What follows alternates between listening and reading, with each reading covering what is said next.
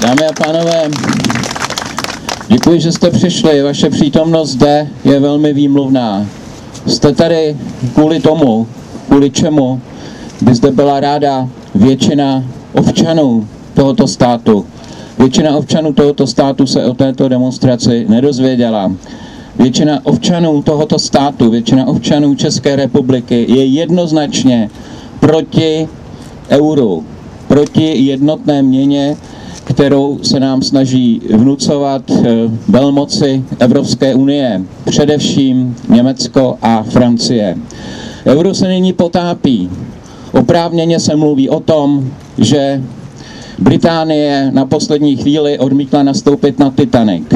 A tento Titanic ve svém zoufalství, ve své snaze prodloužit si svou agonii, si svůj smrtelný zápas o každý jediný den, měl tu opovážlivost požádat nás a jiné státy, které nemají evropskou měnu a Česká republika ústy svých, většiny svých občanů odmítá něco takového přijmout, abychom prodloužili jejich život, abychom prodloužili život projektu a nápadu, který zní jednoduše. Musíme vytvořit z Evropy chtě nechtě jeden stát, centralizovaný stát a zásadní vlastností takového státu je měna.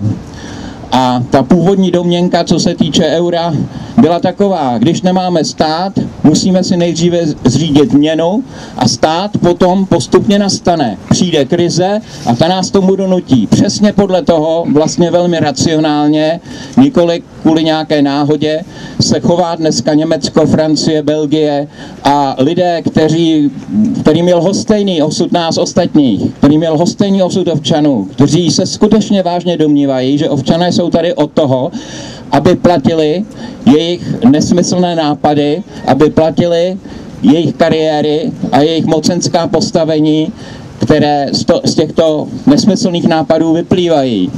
My musíme říct si ne. Ta situace je už tak absurdní a směšná, že v mnohých rysech připomíná, začíná připomínat komunismus a tady bychom měli být velmi ostražití.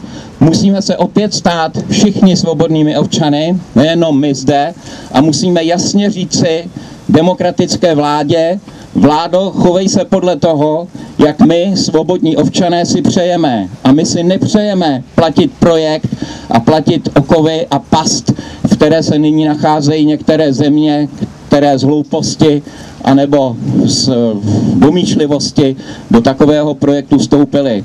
Nebyli to občané těchto zemí, kteří to dobrovolně chtěli. Byli to, byla to jejich vrchnost, která na jejich zájmy a na jejich potřeby z vysoka kašle. Musíme říct si jasně ne a opakovat to. Teď je třeba vydržet.